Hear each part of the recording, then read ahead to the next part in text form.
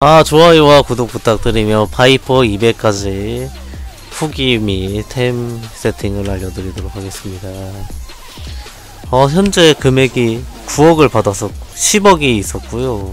10억이 있었는데 자 일단은 반지 4짝을 샀어요. 자 반지 4짝을 샀지요 그리고 고귀한 EPI 반지, EPI 반지하고 실버 블라썸님 10성까지 꼈고요. 어, EPI 반지를 산 이유는 EPI 목걸이하고 세트 효과를 내기 위함인데 정펜을 껴고 말았군요. 그렇고요. 4%의 9짜리. 그리고 샤크터스 33초에 힘 20짜리 06%짜리 꼈고요. 골든클로버 64짜리 신발 4에 20에 04짜리 6% 9%짜리 40에 05짜리 상위 9% 48에 04 4에 30짜리 3% 4에 30에 124까지 6% 5%짜리 6% 대하시더스에서 6에 12짜리 3에 40 주업이었고요. 블랙메탈 9% 6에 20에 6에 20짜리 스키퍼 글러브 5에 36짜리 스키퍼 케이프 3% 크리크리 방무. 데미지가 나왔을라나? 어쨌든 크리가 좀 중요하다 보니까는 이걸로 갔는데 좀 선택사항이었던 것 같고. 이걸 사는데 9억을 썼거든요? 나도 이걸 왜 이렇게 많이 썼는지 모르겠어. 판매 물품이 있으니까 한번 보자고. 나도 이걸 왜 이렇게 많이 썼는지 모르겠네 자, 연반이 5억이죠. 그죠? 5억.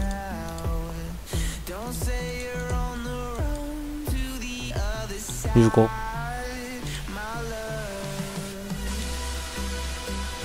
칠억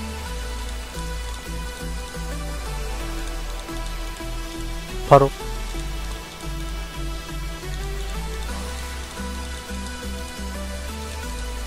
구억 와 9억에 별것까지 해서 이렇게 많이 써요?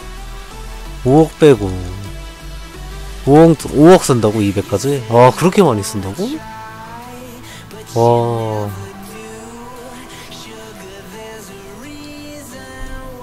4억 4억 4억 쓴 건가? 5억 쓴 거 같은데? 어 이 템 세팅의 장점을 말씀드리겠습니다 일단은 이거 토드에서 팔 수 있어요 6%짜리 어 스키퍼 슈즈 토드에서 팔 수 있습니다 골든 클로버 6%짜리 토드에서 팔 수 있지. 샤커투스 토드에서 팔 수 있지. 아, 아 이것도 가능하긴 한데. 이게 끝인 것 같습니다. 그리고 연반은 다시 파는 식으로 해야 될 것 같고. 와 생각보다 그러네. 연반은 다시 팔면 되지. 그럼 사실상 템 세팅하는데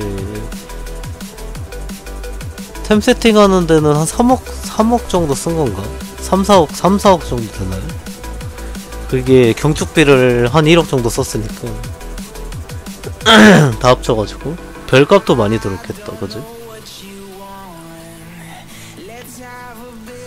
어 그렇고 한 4억 5억 정도 쓴 것 같아요 그렇고 어 바이퍼 200까지 이렇게 템 세팅 했는데 아 이게 링크하고 이런 게 다 하나도 없다 보니까. 깔끔하죠? 유니온도 안 잘리고. 아 그래가지고 쉽지 않았어. 아 제가 얼마나 힘들었냐면은 지구방위 본부를 가질 못했어요 처음으로. 웬만하면 다 갔을 텐데.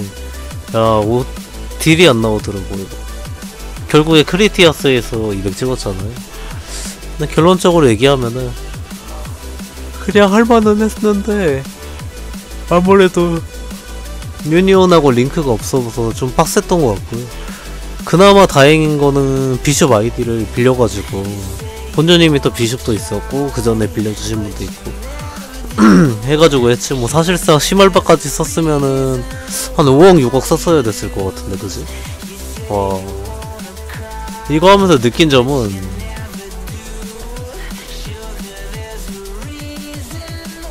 빡세요 그렇고 개인적으로 바이퍼는 바이퍼의 장단점을 제가 또 설명해 드려야겠네. 이거를 한번 찾아보자고. 역시 간무위 길을 간다. 바이퍼의 장점과 단점은 무엇이 있는가? 아주 중요한 부분이지요. 그렇죠?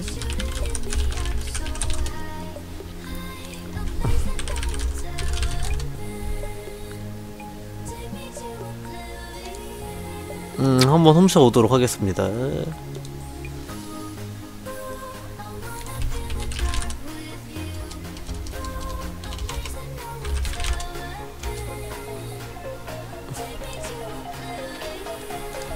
어딨냐? 찾고 싶은데?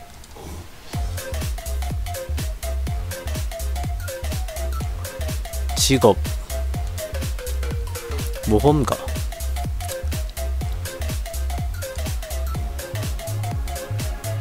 바, 바이퍼.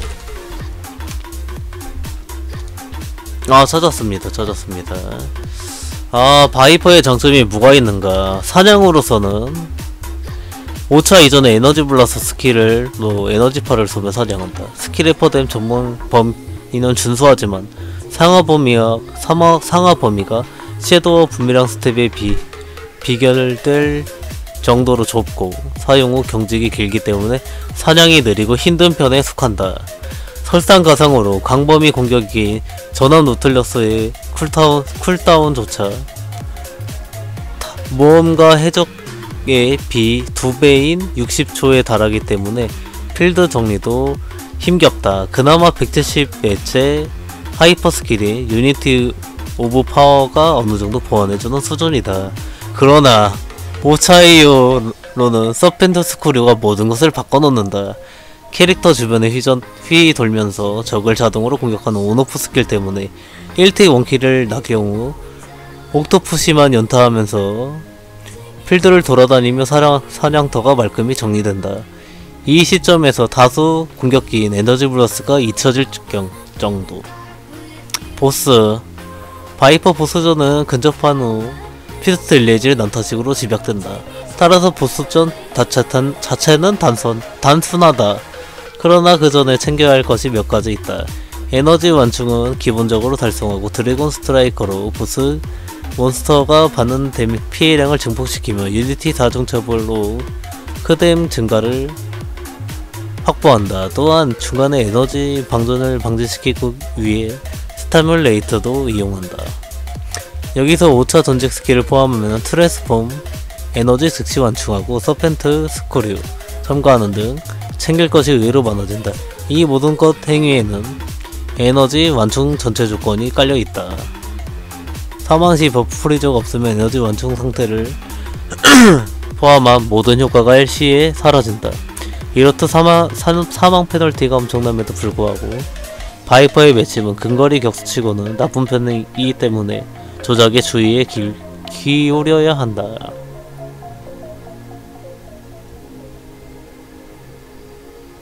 장점 높은 스킬 피해량에 따른 최상위권 DPM 낮은 ability 의존도 passive drain 스킬 단순한 코어 강화 Serpent Screw의 성능 모- 모션 cancel기 구비.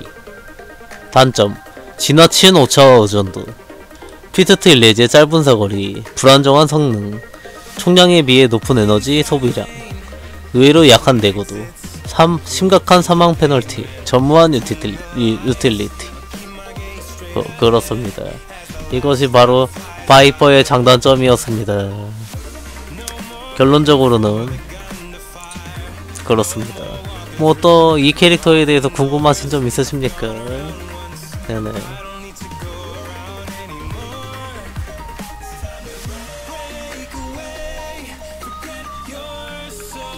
아 그렇다면은 마치도록 하겠습니다